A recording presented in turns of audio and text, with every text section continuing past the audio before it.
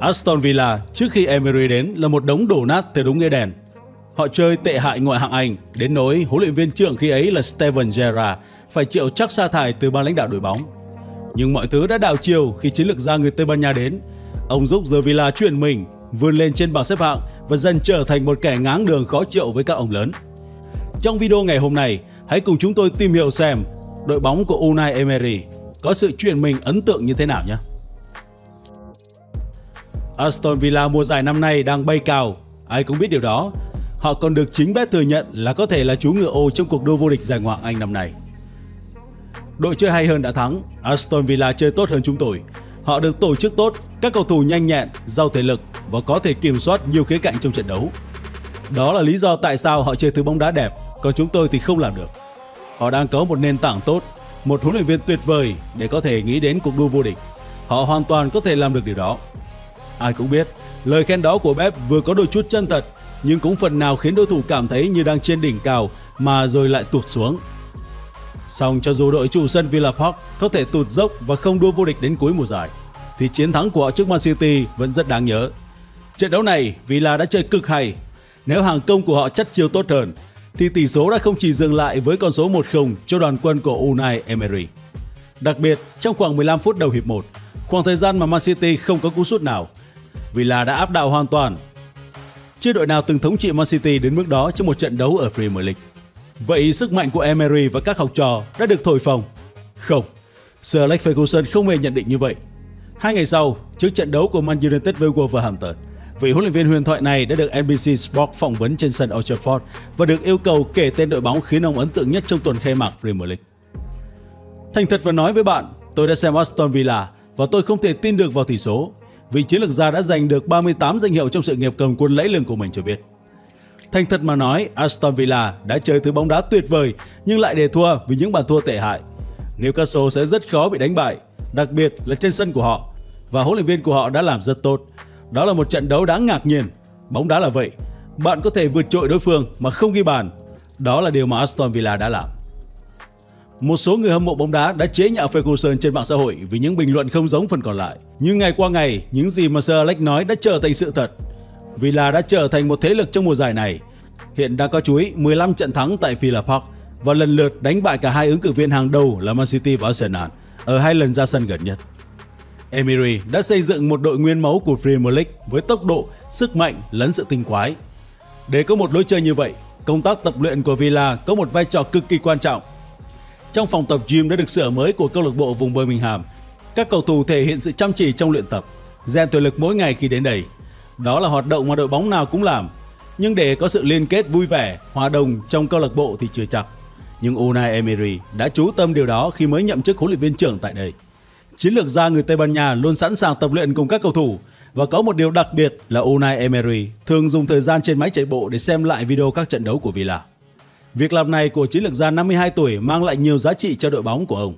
Khi ông sẽ tìm ra điểm yếu để khắc phục và những điểm mạnh để phát huy tối đa cho lối chơi của Villa.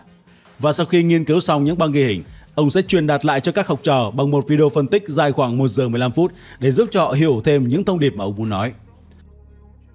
Tập trung và cải thiện các chi tiết nhỏ là chủ đề cơ bản trong 13 tháng kể từ khi Emery được bổ nhiệm.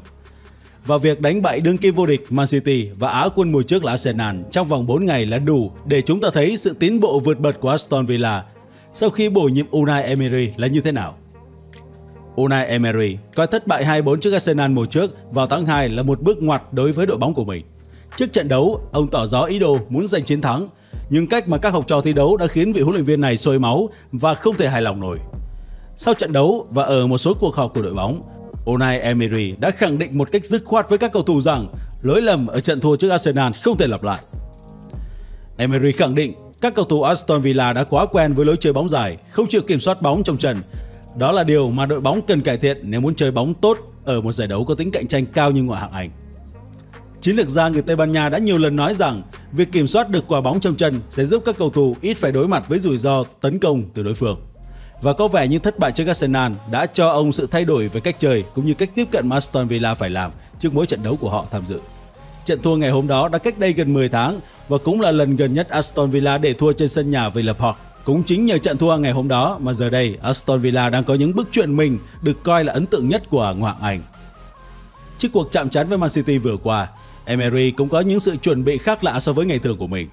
Ông muốn các cầu thủ tập trung vào buổi sáng tập luyện và tìm hiểu kỹ về đối thủ của mình. Buổi tập diễn ra với cường độ chậm rãi, chủ yếu là khả năng di chuyển, phối hợp nhóm hay những pha tổ chức vây giáp trung lộ trong quá trình triển khai bóng.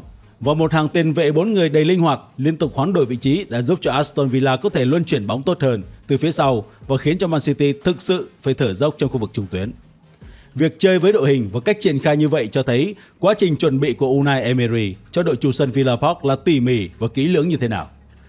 Trước khi chuyển đến Villa vào năm ngoái hồi tháng 10, Emery đã tổng hợp hồ sơ chi tiết của từng cầu thủ của đội bóng mới mình dẫn dắt tại quê nhà Tây Ban Nha. Ông ấy đã kêu gọi các trợ lý từng hợp tác với mình cùng đến anh để tập hợp các cảnh quay về các trận đấu trước đó và clip về từng cầu thủ.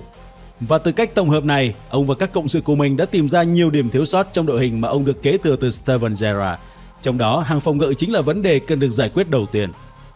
Với Gerrard, tập luyện chỉ là tập luyện, một nguồn tin thân cận với cầu thủ Aston Villa cho biết. Nhưng Emery rất chi tiết, giống như khi ông ấy còn ở Arsenal. Ông ấy vẫn huấn luyện các cầu thủ hàng ngày và nói về mọi khía cạnh của bóng đá, đồng thời củng cố những thói quen tốt trên sân tập cho đến thời điểm nó bắt đầu có tác dụng trên sân. Sau những buổi tập đó, các cầu thủ bắt đầu tin vào phương pháp của Emery và từng bước thực hiện chính xác những gì ông ấy yêu cầu. Họ làm trong mọi trận đấu. Đúng như thế, Emery không chỉ làm mới bản sắc tấn công của đội bóng mà còn đảm bảo tốt trong cả khâu phòng ngự với sự hiện diện của Teromin và Konsa trở nên chắc chắn hơn. Ông muốn hai cậu học trò của mình cầm bóng tốt, đảm bảo được công tác phòng ngự. Chính điều này đã khiến cho bộ đôi trên chơi bóng tốt hơn rất nhiều kể từ khi huấn luyện viên người Tây Ban Nha đến. Các cầu thủ dưới thời Emery cũng có sự nỗ lực hơn trong tinh thần của họ khi luôn có một người thầy chuyên lửa phía bên ngoài đường bích. Trong trận thua 0-3 trước Fulham vào hồi tháng 10, Zara chỉ biết ngồi thẫn thờ cùng trợ lý Gary McAllister. Cả hai đều không nhận ra đó là những giờ phút cuối cùng họ được làm việc cùng Aston Villa. Việc thiếu người truyền lửa còn tệ hại đến mức mà một người được coi là dè dặt và trầm tính như Oli Waskin cũng phải tổ chức cuộc họp nhỏ trên sân để tiếp thêm tinh thần cho cả đội thi đấu những phút còn lại. Dưới thời Emery, ông luôn bám sát đường biên, chỉ dẫn các học trò từng bước, hô hào mỗi khi họ nhận bàn thua để sốc lại tinh thần.